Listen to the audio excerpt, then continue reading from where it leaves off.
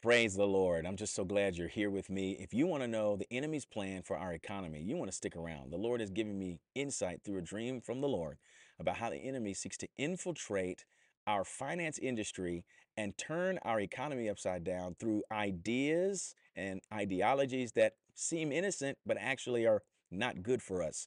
So let me share this dream from the Lord and share this with you, if, uh, with others. If you want to like this or subscribe, whatever, we want to make sure that this gets to as many people as possible. I believe this is truly a prophetic warning from God. Stick around.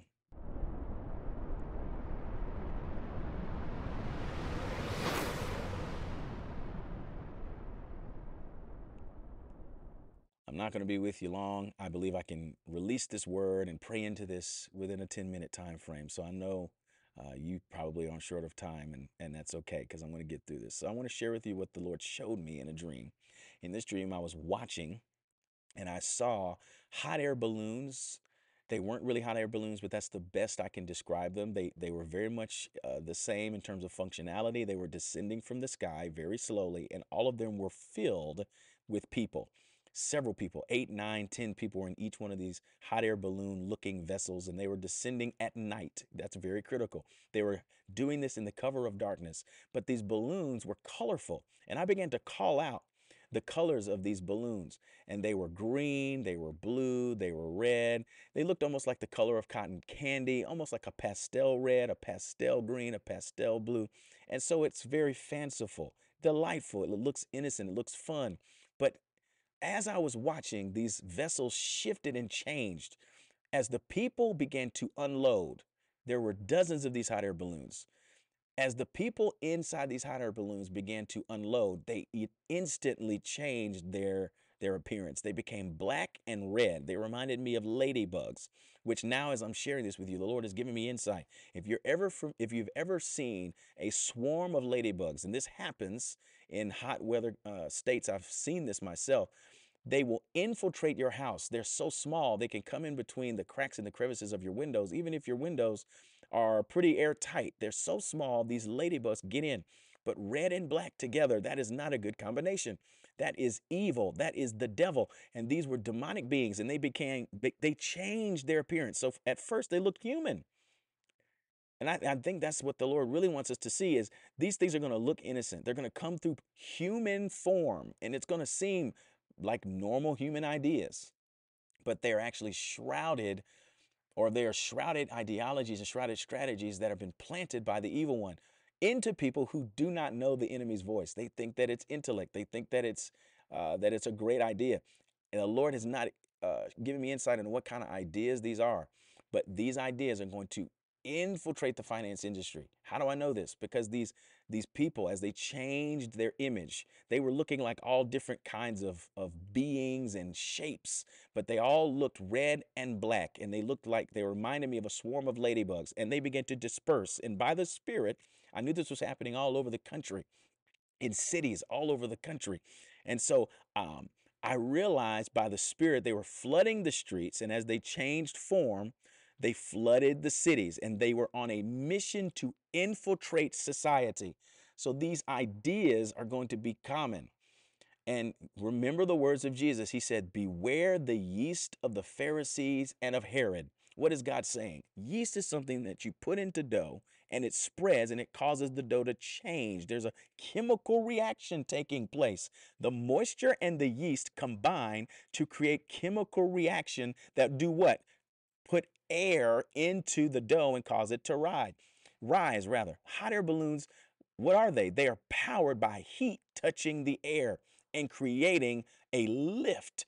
Well, these hot air balloons were carried, carrying people and beings that were bringing an infiltration of ideology into our cities. They were flooding and influencing our economy. I knew this. I just knew this by the spirit in the dream that they were going to make things more expensive. I heard this in the dream. They were going to make things more expensive. So there are going to be ideologies, and they're already here in the finance industry that are going to seem so normal.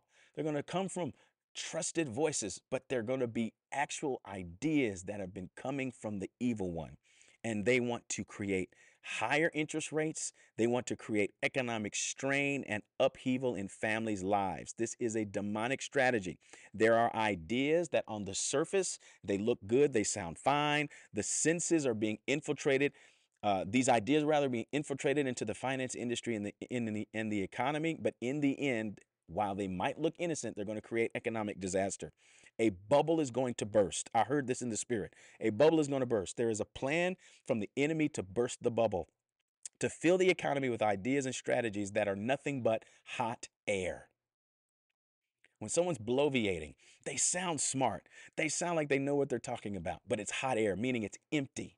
It doesn't have any weight.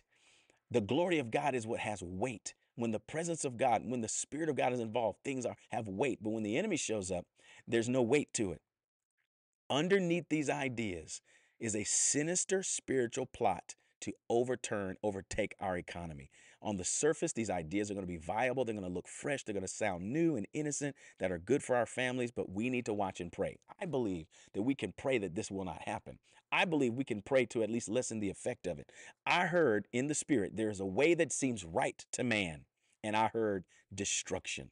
The enemy seeks to destroy our economic vitality by giving us ideas that people are going to say, oh, that sounds good. Let's do that. That makes sense.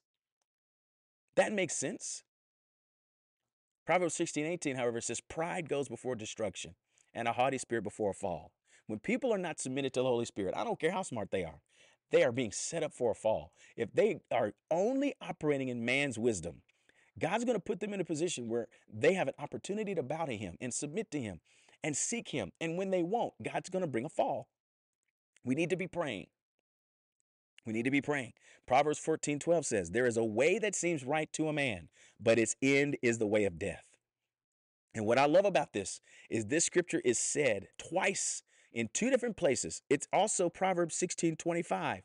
There is a way that seems right to a man, but its end is the way of death. The same words in two different places in Scripture.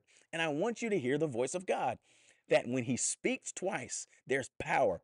God is saying, I have established this in the earth that there is de- there is death where man is going with his own way. We need to pray. Um, this is for the watchman. This is for the intercessor. I need you to pray that we will not see rampant inflation, that we will not see higher interest rates, that we will not see ideas and ideologies, ideologies rather, enter into our Federal Reserve System and our banking system and our finance industry that are actually bad for families and will only make the richer, the rich people richer. We need people to be praying. And I'm seeking the Lord to show me what are these strategies? What are these ideas? Matthew 7:13 says, "Enter at the strait gate, for wide is the gate and broad is the way that leads to destruction." It's going to look normal. This is why we cannot be those who have eyes that are not in the spirit because the light of the eye, the light of the body is the eye. If your eye is full of darkness, your whole body's full of darkness. If you're not seeing by the spirit, you are actually overtaken by darkness. And this is where uh, most of the people who are in the finance industry are. Let's just say it. They are not filled with light. And so they're going to take part in parcel demonic strategies because they want to profit. The Bible says, what does it profit a man to gain the whole world and lose his soul? For what will a man give his for what will a man give his soul? People have sold their souls out for money to serve the God of mammon, which is a, a spirit. The God of mammon. So we need to pray. This is a prayer alert. If you have any spiritual discernment, you understand God is speaking to you right now to pray for our finance industry, our leaders, the people, people that are on Wall Street, people that are in the in the C-suite of these Fortune 500 companies and beyond. Are they going to be those who hear the goodness of God? Are they going to be those who listen to the counsel of the Spirit of God? Not to say they're Christians, but they listen to even their advisors who are hearing what the Spirit of the Lord is saying. Are they going to listen to the Spirit of prophecy? Even those who are unbelievers can hear the voice of God and know that it's better than what they heard. This is how we need to pray. We need to pray that their ears and their eyes will be open to the word and to the counsel of the Spirit of God. This is my encouragement to you. I want to edify you to pray into this. I want to actually charge you and command you by the Spirit of God to pray for the finance industry, pray for the economy, pray that info that the infiltration of these ideologies will not transpire because it's going to make rich people feel safe. Oh, this is good. And the rich people rule the finance industry. So, what looks good to them is what actually gets done. Please pray with me. Will you pray with me? I hope you will.